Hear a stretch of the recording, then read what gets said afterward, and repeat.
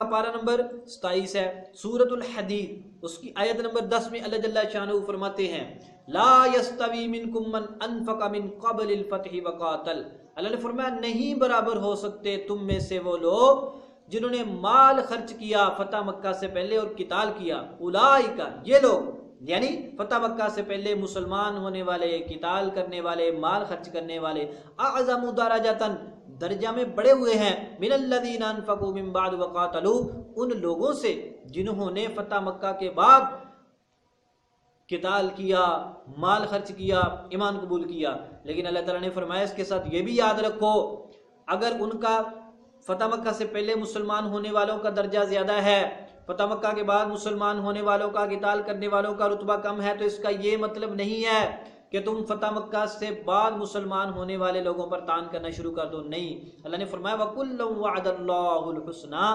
اللہ تبارک و تعالی نے دونوں کے ساتھ جنت کا وعدہ کیا ہے۔ واللہ بما تعملون خبیر اور اللہ تعالی جو کچھ تم کرتے ہو اس کی خبر رکھتا ہے۔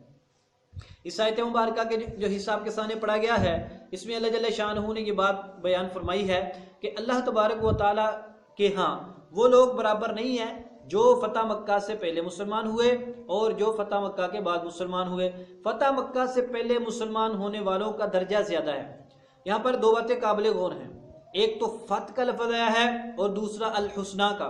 کوئی بندہ یہ کہہ سکتا ہے کہ نہیں جی فتح سے مسلمان ہونے والوں کا درجہ زیادہ ہے۔ فتح مکہ کے بعد مسلمان ہونے والوں کا رتبہ کم ہے۔ لیکن حسنہ کا وعدہ اللہ نے دونوں کے ساتھ کیا ہے۔ اب حسنہ سے کیا مراد ہے؟ وہ بھی ذرا دیکھ لیتے ہیں۔ حضرت امام مجاہد رحمۃ اللہ علیہ، حضرت ابن عمر رضی اللہ تعالیٰ کے شکید بہت بڑے مفسر ہیں۔ وہ فرماتے ہیں کہ الحسنہ سے مراد جنت ہے۔ ان کا قول ہمارے ہاں راجے یہ ہے کہ حضرت معاویہ رضی اللہ تعالیٰ عنہ فتح مکہ سے پہلے مسلمان ہوئے تھے۔ آپ فتح مکہ سے پہلے مسلمان ہونے والوں میں شمار کیے جائیں یا فتح مکہ سے بعد مسلمان ہونے والوں میں شمار کیے دونوں صورتوں میں اس آیت مبارکہ سے حضرت امیر معاویہ رضی اللہ تعالیٰ عنہ کی شان واضح طور پر ثابت ہوتی ہے۔ وہ اس طرح اللہ تعالیٰ نے یہ بات واضح فرما دی کہ جو لوگ پہلے مسلمان ہوئے، مال خرچ کیا قتال کیا، ان کا رتبہ زیادہ ہے۔ جو لوگ بعد مسلمان ہوئے، مال خرچ کیا قتال کیا، ان کا رتبہ ان سے تھوڑا ہے۔ لیکن وَكُلًّا وَعَدَ اللَّهُ الْحُسْنَى، اللہ تعالیٰ نے جنت کا وعدہ دونوں گروہوں کے ساتھ کیا ہے۔ وہ چاہے فتح مکہ سے پہلے مسلمان ہونے والے صحابی ہوں، وہ چاہے فتح مکہ کے بعد مسلمان ہونے والے صحابی ہوں۔ لہذا جس طرح اللہ نے باقی لوگوں کے ساتھ وعدہ کیا، اسی طرح حضرت سیدنا امیر معاویہ رضی اللہ تعالیٰ عنہ کے لیے بھی جنت کا وعدہ کیا ہے۔ لہذا حضرت امیر معاویہ رضی اللہ تعالیٰ عنہ قرآن پاک کی اس آیت کی روح سے واضح طور پر جنتی لوگوں میں شامل ہیں۔ حضرت امام بغوی فرماتے ہیں، کلل فریقین وعدہم اللہ والجنہ کہ اللہ نے دونوں فریقوں کے ساتھ جنت کا وعدہ فرمایا ہے۔ علامہ قرطبی رحمۃ اللہ علیہ فرماتے ہیں وعدہم اللہ جميعا الجنت مع تفاوت الدرجات. علامہ قرطبی فرماتے ہیں، درجات کیا کمی بیشی ہے؟ پہلے کا زیادہ، ان کا تھوڑا، لیکن وعدہ اللہ نے سب کے ساتھ جنت کا کیا ہے۔ لہذا جنت کا وعدہ حضرت امیر معاویہ رضی اللہ تعالیٰ عنہ کے ساتھ بھی ہے۔ چاہے آپ کو پہلے اسلام قبول کرنے والوں میں شمار کیا جائے، چاہے آپ کو بعد میں اسلام قبول کرنے والوں میں شمار کیا جائے۔ تو پہلی آیت سے معلوم ہوا کہ اللہ کی جو رحمت اتری ہنین میں، اس میں حضرت معاویہ کو بھی حصہ ملا، کیونکہ آپ بھی شامل تھے۔ اور اس آیت مبارکہ سے معلوم ہوا کہ حضرت امیر معاویہ رضی اللہ تعالیٰ عنہ جنتی ہیں۔ تو جو لوگ آج ان کے بارے میں بک کرتے ہیں، مختلف قسم کے الزام و اتہامات لگاتے ہیں۔ ان لوگوں سے کہتے ہیں، اللہ نے تو ان کو جنت میں جگہ دے دی ہے، ان کا جنت میں مقام موجود ہے، اور تمہاری بکبا کرنے سے ان کے مقام و مرتبہ عظمت میں کچھ فرق نہیں آئے گا۔ البتہ تمہاری اپنی گندی زبان مزید گندی ہوتی جائے گی۔ ان کے عظمت رتبے کو تم کچھ بھی کم نہیں کر سکتے۔ وہ تو اللہ نے ان کو رتبہ دیا۔ اللہ نے کہ قرآن میں ان کی شان بیان فرمائی ہے۔ ان کا رتبہ مزید اس سے بڑھ جائے گا۔ تم جتنا ان کے خلاف باتیں کرو گے، ہم انشاءاللہ اور دوسرے صحابہ صحابہ سے پیار کرنے والے، ان کے متعلق اور زیادہ آیات و احادیث مبارکہ سامنے لائیں گے اور تمہارے لیے کام اتنا زیادہ مشکل ہو جائے گا۔ اسی تمہارے لیے بہتر یہ ہے کہ صحابہ کرام کے بارے میں اپنی زبانوں کو خاموش رکھو، اچھے بسم اللہ الرحمن الرحیم۔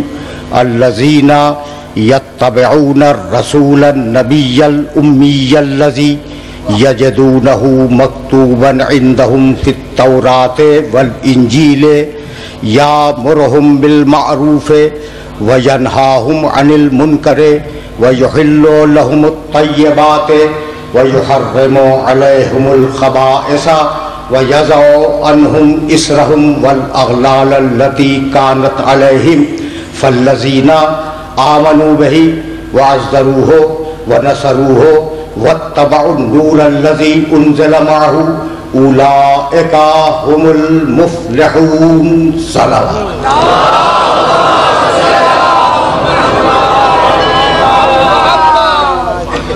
ایدان محترم، اس مختصر سی گفتگو کے لیے میں نے سرنامہ کلام میں ایک طویل آیت کی تلاوت کا شرف حاصل کیا۔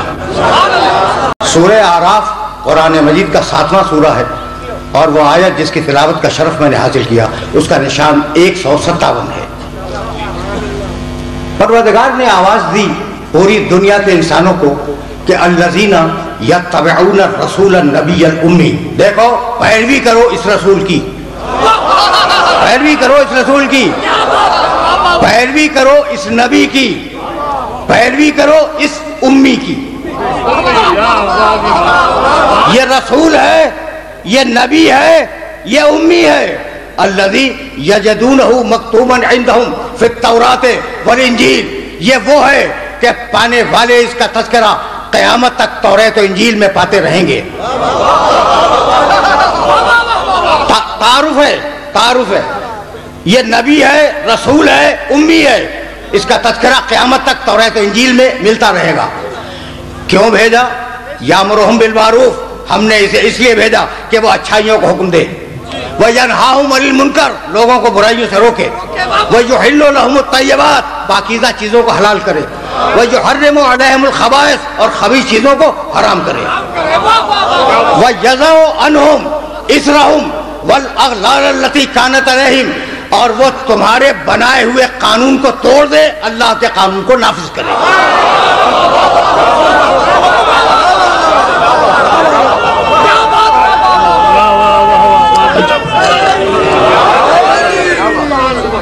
پیروی کرو۔ میں توجہ رکھنا پیروی کرو۔ ابھی پوری آیت کا ترجمہ مکمل نہیں ہوا۔ تو پہلے ٹکڑے میں تعارف کرایا۔ دوسرے جز میں یہ بتایا کہ اسے بھیجا کیوں؟ اور اب تیسرے جز میں تم سے خطاب کرتا ہے کہ اب تمہیں جنت کیسے دوں گا؟ فلزین آمنو بہی۔ میرے محمد پہ ایمان لاؤ جنت دوں گا۔ میرے محمد پر ایمان لاؤ جنت, جنت دوں گا۔ یہ سارے ایمان لانے والے بیٹھے ہوئے ہیں۔ مالک جنت دے دے۔ کہا نہیں، صرف ایمان پہ جنت نہیں دوں گا۔ اور ضرور ہو، اس کی عزت بھی کرو۔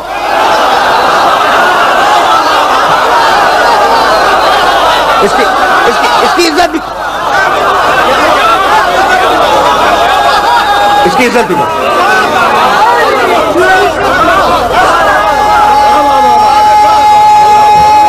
سننا۔ اب میں اب میں اپنے نوجوان دوستوں کو یہاں روک لوں۔ دیکھو بھائی، دو شرطیں ہو گئی۔ ابھی شرطیں اور بیان کروں گا، جنت میں جانے کی شرطیں کیا ہیں۔ پہلی شرط، ایمان لاؤ محمد پر۔ دوسری شرط کیا محمد کی عزت کرو۔ بھائی، جو ایمان لائے گا، وہ عزت تو آٹومیٹیکلی کرے گا نا۔ بھائی، یہ الگ سے کہنے کی ضرورت کیا ہے؟ کہ ایمان بھی لاؤ، عزت بھی کرو۔ یعنی ایسے مسلمان قرآن دیکھ رہا تھا جن کے زبان پہ کلمہ تو ہوگا، دل میں محمد کی عزت نہیں ہوگی۔ سمجھ رہے ہو؟ ہے تو ہے تو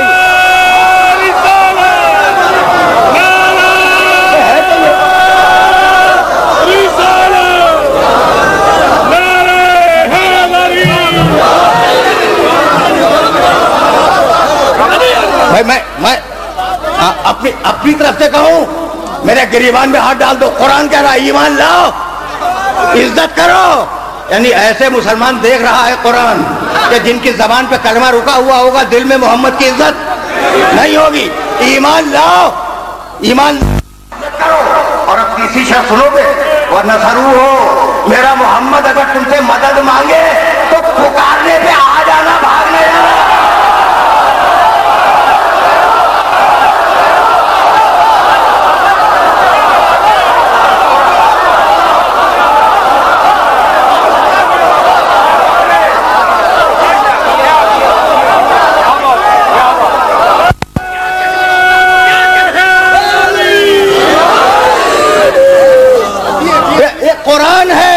تمہارے سامنے پیش کر رہا ہوں۔ اچھا بھائی، تو میرے محمد پہ ایمان لاؤ، پہلی شرط۔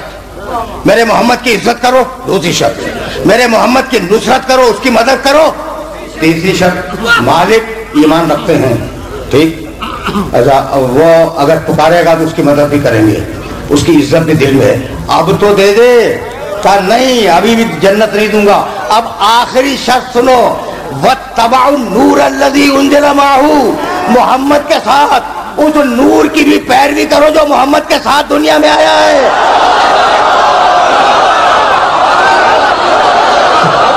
سمجھ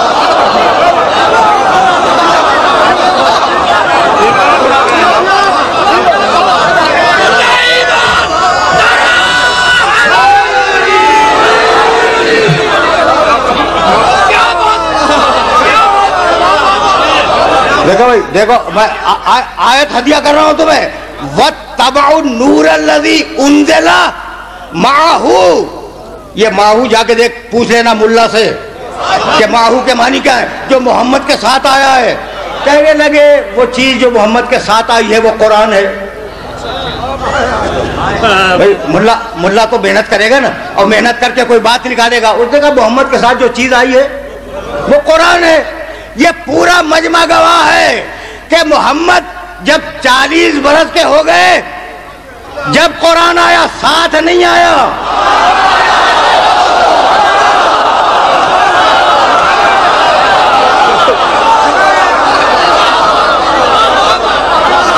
قرآن قرآن محمد پر آیا ہے۔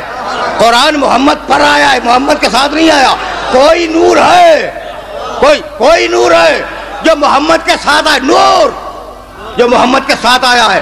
اب سنو گے اب تک تو میں آیت کا ترجمہ کر رہا تھا۔ ایک چھوٹی سی روایت سنتے جاؤ، روایت کی ذمہ داری میں قبول کرتا ہوں۔ میرے نبی نے صحابہ کرام رضوان اللہ علیہ اجمعین کے بھرے ہوئے مجمع میں کہا، بھائی سنو کن تو نبین کن تو نبین وہ آدمو بین المائے والتین میں نبی تھا۔ تمہارا باپ آدم بدا نہیں تھا، مٹی اور پانی کے بیچ میں تھا، میں اس وقت نبی تھا۔ سن لیا؟ سن لیا؟ سن لیا لوگوں نے؟ میرے نبی نے پھر کہا، سنا کن تو نبین وہ آدم و بین المائے والتین میں اس وقت بھی نبی تھا کہ تمہارا باپ آدم ابھی پیدا نہیں ہوا تھا۔ دو مرتبہ سن لیا۔ دو مرتبہ سن لیا نا۔ میرے نبی نے پھر کہا کن تو نبیین وہ آدم و بین المائے وطین بھائی، ایک ہی جملہ اگر ممبر پر بیٹھ کے میں دہراتا رہوں تو آپ پریشان ہو جائیں گے نا۔ ایک دوسرے کو دیکھیں گے کیا یہی جملہ بتانے کے لیے آئے تھے کراچی سے؟ اب میرا نبی میرا نبی!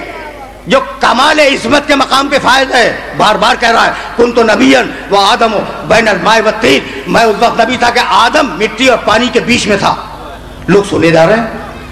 راوی کہتا ہے کہ رسول فرما رہے تھے کہ اتنے میں مسجد کے دروازے سے علی داخل ہوئے۔ علی داخل ہوئے۔ اس وقت میرا نبی کیا کہہ رہا تھا؟ تم تو نبی وہ آدم و بین المائے والتین جیسے ہی میرے نبی کا جملہ ختم ہوا، راوی کہتا ہے کہ علی دروازے سے بولے، یا رسول اللہ، وہ کن تو ولی وہ آدم و بین المائے والتین